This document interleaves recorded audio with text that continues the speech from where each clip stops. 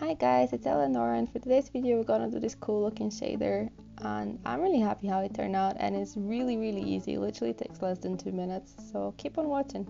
Um, I got this 3D models uh, as a free resource online, I'm gonna leave a link in the description because they look pretty awesome.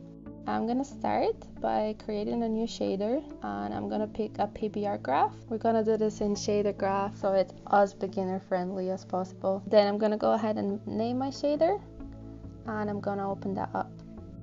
So I'm gonna move the PBR master out of the way so I can create my nodes and I'm gonna create a Fresnel effect node.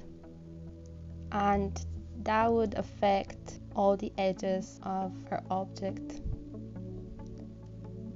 And then I'm gonna create a node for color and I'm gonna pick a really bright blue so it goes with our theme.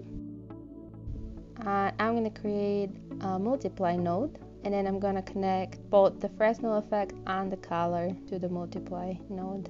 And then I'm gonna connect that to the emission property. So we get this nice glowing effect on the edges. And then because I would like the middle of the object that's not glowing to be transparent I'm gonna go ahead and create another Fresnel effect and I'm gonna link that to the alpha property.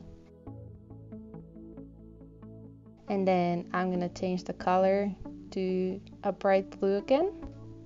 And then the last thing you need to do is go to your PBR master node and click on the settings. And then for surface, you have to select transparent.